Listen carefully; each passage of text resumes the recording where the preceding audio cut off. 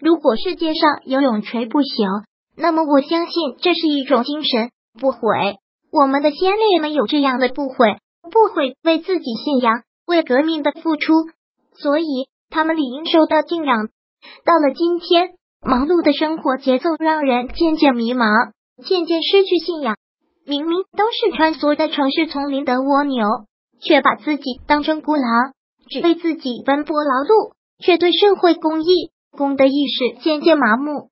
而他，崔永元，是唯一一个最先醒了的人。他明明可以过着闲庭信步的小日子，却偏偏选了一条荆棘丛生最难走的路。我不想用更多华丽的词藻歌颂他，因为他已经是我心目中的现代鲁迅。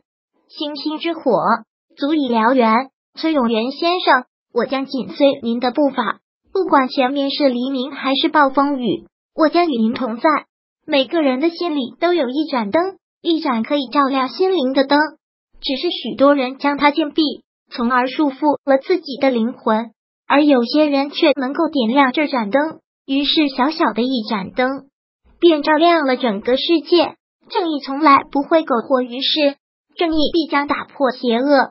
正义的脊梁了，从来都是直的；正义的胸膛从来都是挺起来的；正义的声音从来都是一呼百应的。邪不压正，正义必胜。如果喜欢本视频，请分享并订阅本频道，别忘了按赞哦。